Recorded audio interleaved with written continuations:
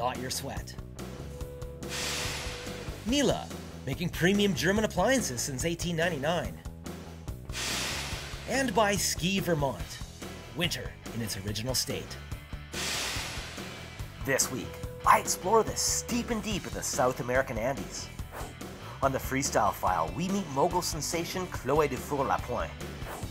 And then, Josh Foster helps us adopt our skiing to the terrain. If you're one who lives in denial and refuses to believe that the ski season ends in the spring, then this week's show is for you. Argentina and Chile are home to some of the world's best skiing, and it happens all summer long. We're going to start our South American tour in Chile's central ski region, located just a short distance from Santiago. Three ski areas offer over 23,000 acres of skiable terrain, with all the amenities you'd expect to find in a world-class ski vacation.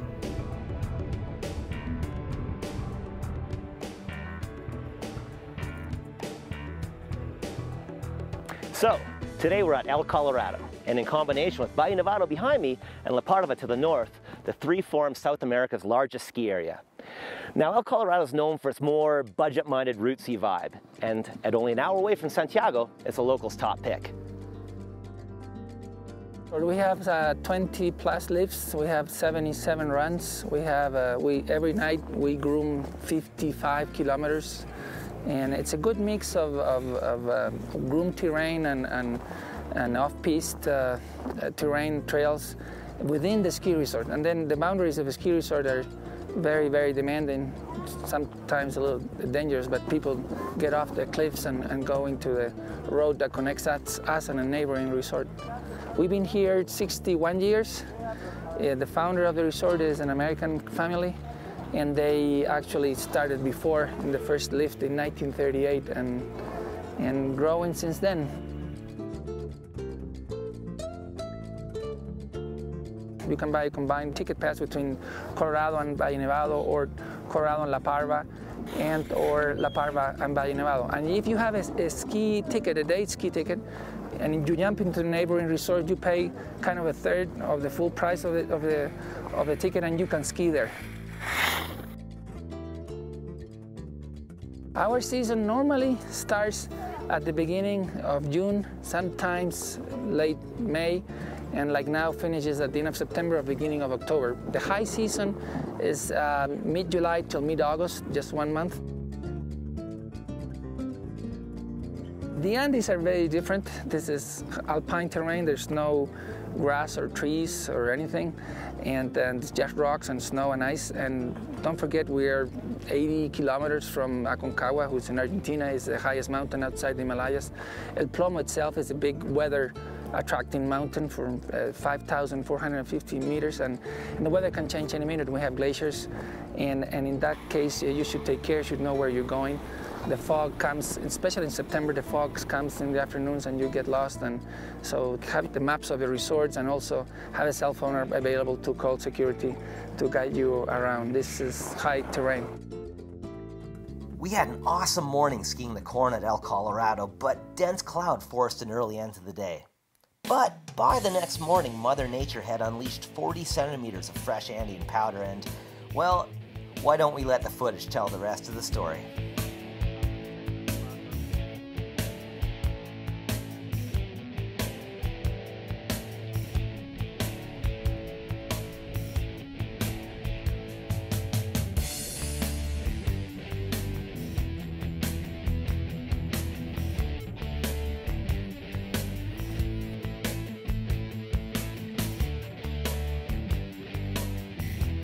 My god, this is the best day ever, and I can't believe how lucky I am today. And if you're doubting if the snow really is this good, and maybe you're thinking, oh, they do some computer work back in the editing room to make it look awesome. Well, the skiing is this good and then some. And who would have thought all this could happen on the last week of the ski season? Today is September 28th, and that's like late April back in the Northern Hemisphere.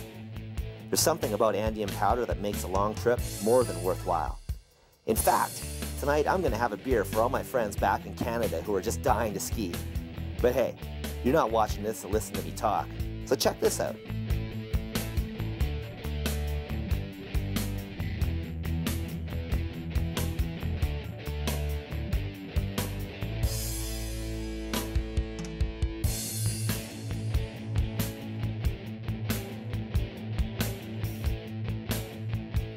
With the weather moving in, and our summer legs catching up with us, there seemed like no better time to check out the capital city of Santiago.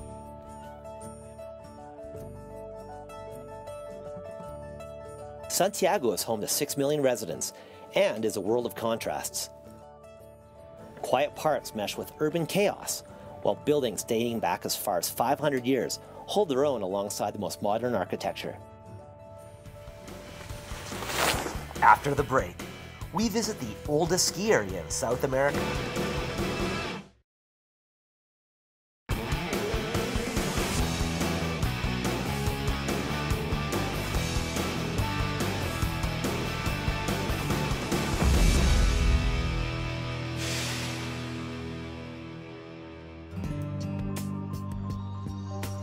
We've made our way along the windy international trade route between Chile and Argentina. The road to Portillo is like slowly unwrapping one of the best Christmas presents ever. It's September, and with each switchback, commanding views of the Andes remind you of why you're not on a golf holiday. And then when the road plateaus, you'll find perhaps one of the most beautiful mountain resorts in the world. Portillo, Chile, has been South America's premier ski resort destination for more than 50 years and is famous for its majestic Andean setting and powder. I'm lucky enough to have skied all over the world, and I'm trying to think of a place as beautiful as Portillo, Chile. Down below me at the heart of it is this lake called Laguna del Inca, while huge Andean peaks jet up on either side. And the diamond on the ring, the uber classic Hotel Portillo. Now this week I'm joined by my exotic Chilean friend, Vicho Fernandez. No, trust me dude, I'm your wingman. Vicho works for a company called SouthAmericaSki.com, and they do custom ski tours down here in South America. And ladies, you can hire Vicho as your private guide. See, you gotta trust me, huh? You like that? All right. Portillo definitely defies a North American cookie cutter ski resort formula. In fact, the whole resort might be defined as a functional ski museum. Not much changes from year to year, but trust me, in this case, it's a good thing. I think Portillo is unique because we decided a long time ago that because of the terrain here and because of the, the, the area around us, that Portillo would never, could never pretend to be a big uh, mega resort, and that was not what we really wanted anyway. So we decided to do something different and keep it the way it is. And we've developed a viable and, and uh, pleasant place to, to be, and it, it, it works and it's worked for a long time and as long as the public stays with us, we'll keep operating it this way.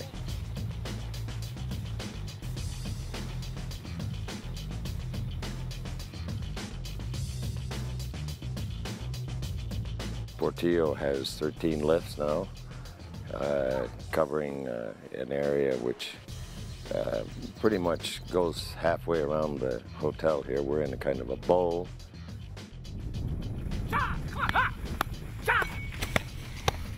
we ski on everything that that uh, has snow on it, and some some things that don't. Right now, the even our runs that run down to the lake and you, where you have to come back in across the ice are open, so that gives you uh, an idea of how far people will go to ski here.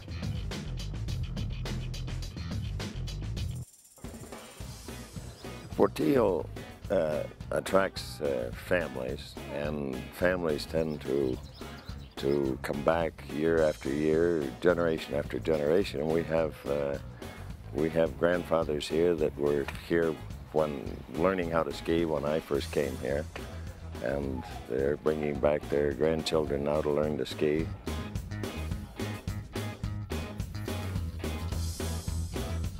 The common thing about people who come here is that they like this kind of atmosphere and ski area and skiing that we have here. What we offer is what people really want, and, and this is what we've tried to, to maintain over these years. Basically, we are a family resort, but we also cater to a lot of very fine skiers who come here both for off-piste extreme skiing and for uh, race training. So we get a pretty interesting mixture of different personalities and people here.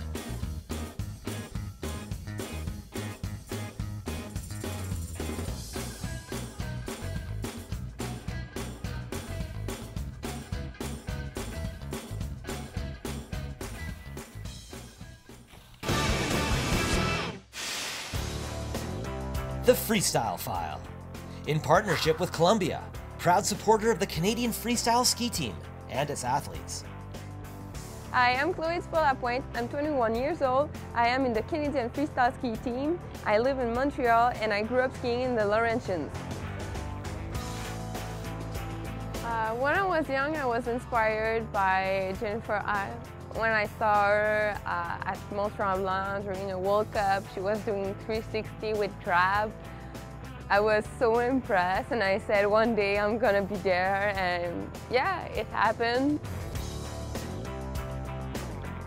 The highlight of my career uh, was at the Olympic in 2010 in Vancouver, finishing five at uh, 18 years old. For sure, that's the best moment. Before a competition run, I think uh, when I'm, I'm at the top of the course, I'm just trying to enjoy the moment, you know? It's so fun to ski, why in competition it shouldn't be? So I, I'm just trying to do the same thing as in training.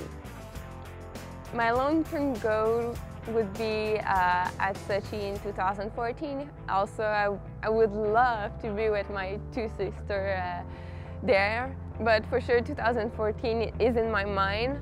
Uh, I have to ski well and I have I worked hard to get there, so I'm gonna be in Sochi. Coming up, the incredible steeps of Las Leñas, Argentina.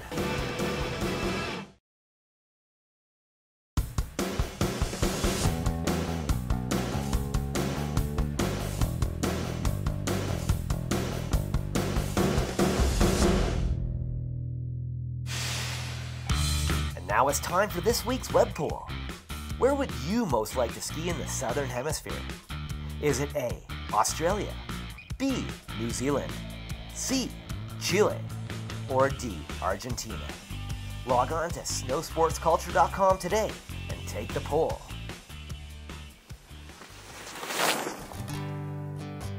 We've made our way from Chile over the Andes to Las Leñas, Argentina, known as an expert skier's paradise. With some of the best steeps in the world, Las Leñas has more lift service terrain than just about any resort in the Western Hemisphere. I've met up with good friend and extremely Canadian guide, Steve Mayer. Well, looks like a perfect day to get our shred on, Stevie. Oh, yeah. Any thoughts on where we should head first? Arriba, for el Mercurio. Vámonos!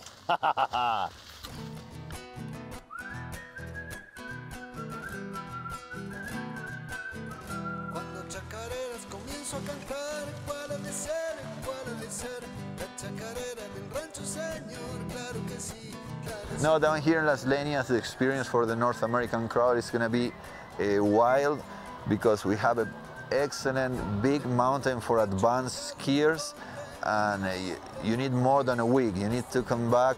Just one trip is not going to be enough for you to explore this excellent mountain. I've been coming down to Las Leñas for eight years now, and my first impressions of the place, I looked up and just saw relentless vertical. It's just an amazing mountain. You can get off the top. As far as lift access skiing, it's, if not the best, definitely some of the best in the world. You get off the top, you can ski 270 degrees, and that's all without having to hike. I ski in a lot of places in the world, but the difference uh, down here is that we have the two uh, extremes, I think, which is we have a very nice terrain for the family and for the beginners. We have the longest uh, beginner run in South America, a green run and pretty flat, which is Venus. And also we have very nice and steep couloirs and great uh, off-piste and powder skiing. One of the great things uh, in Las Leñas is that the whole family, or we all finish the day on just one base. So we all get together down there and we have great programs for kids and family. If you bring your family here, you, you leave your kids at the ski school and by the end of the day they're going to be waiting for you at the base and happy for sure.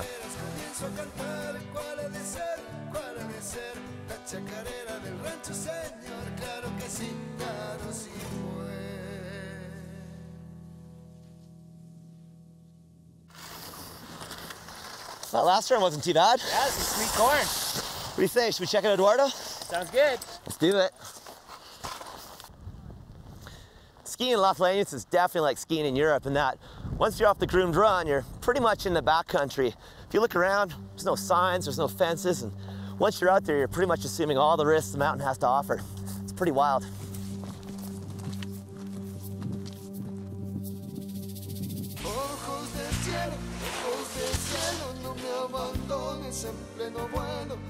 Have about three favorite runs. One is Canaleta de Eduardo or Eduardo's Couloir, and I love that run uh, when I have to open it in a powder day because it's pretty long. It's about a thousand meters long, and that's one of the big difference between down here and North America, where you have beautiful runs, but they are short if you compare with Las Leñas.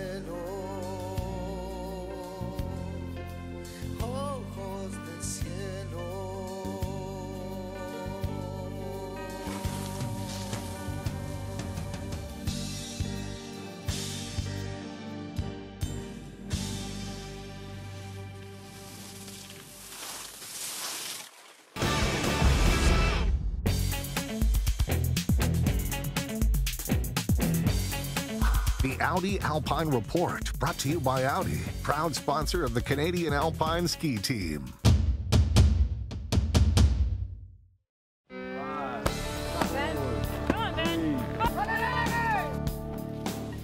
Grew up in Invermere, uh, small town. You know, it gets really busy in the summers. Skied in Panorama. My mother and father have uh, both been involved in the ski racing world. My mother, Shelley, had coached uh, Windermere Valley, my home club, for 15 years or so. So they've both been ski coaches and have known the sport for a long time. Coming through the ranks, you know, I, I had a bit of a struggle there. Uh, I was too old for the BC team, so I was on my own for a couple years. I was doing construction, you know, masonry, odd jobs like that, just to pay certain bills. Ended up getting invited with the, with the national team, and um, you know, proved proved myself. Took uh, took advantage of my opportunities, and I'm here now. I'm a pretty active person. Anything between hockey, kiteboarding, cliff jumping, dirt biking, you know, racing my uh, street bike on the track, anything with adrenaline, love it. Proud moments. I mean, Val Gardena for sure, scoring my first World Cup points. You know, first World Cup podium, Sochi. That that was just unbelievable, and and also just my last season. You know, only scoring points in six races and ending up being. Uh, you know, top 15 in the world, coming from starting somewhere around 70th. It's it's a huge jump, and it, it's just been a whirlwind. How is riding a horse like skiing? Stick around, you'll find out after the break.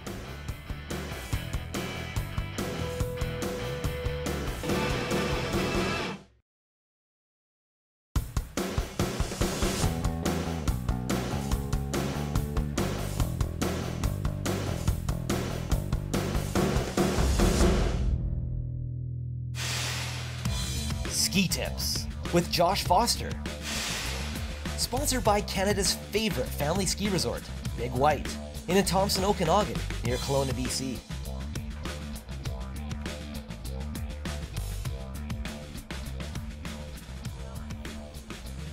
You know when you see a really good skier, they're really smooth and fluid. It hardly looks like they're moving at all.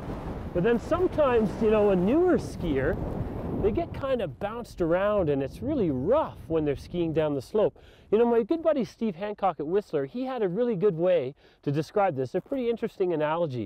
If you've ever ridden a horse, you see a beginner horseback rider, they're bouncing all over the place and it looks like they're moving everywhere. But then if you compare that to a jockey racing maybe in a steeplechase or something like that, the jockey doesn't look like they're moving at all. But here's the thing, it's the beginner horseback rider that isn't moving and the jockey is moving with the horse. Come on with me and I'll show you how that works on a pair of skis. Have a look here in this bumpier terrain. If I want to stay smooth, I need to move with it. It's the terrain that's changing and I need to be adaptable, sometimes even proactive, so that I can have a nice smooth ride. Things change just a little bit here on this smooth terrain now. I don't need to be as active with my legs. but I'm still moving with the terrain. It's flowing, being a bit adaptable. I can sense what's coming up, and I'm being responsive with my legs. That's what's going to give me a smooth ride. So to create that smoothness in my skiing, I need to really be able to move with the terrain. How you're going to move with the terrain is you need to be active with your legs. You can almost think of being really supple and soft with your legs like this in the bumpier terrain, but then when you get onto the smooth stuff, you can be a little bit stiffer with the legs, but you're always moving with the terrain, much like that jockey is always moving with the horse. Let's go try a few more turns down here.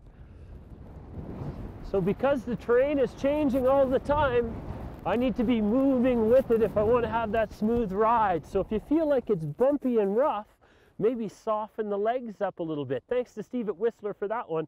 I hope it works for you too. From beautiful Big White Ski Resort, Canada's favorite family resort just outside Kelowna, BC, I'm Josh. We'll see you next time. It's time to wrap up our visit to South America.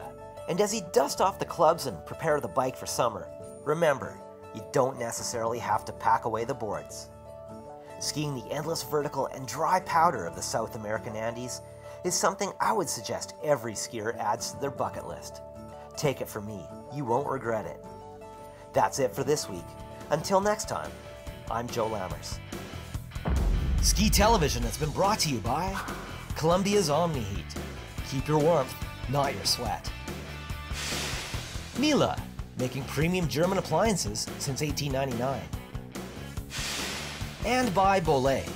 If you never try, you'll never see.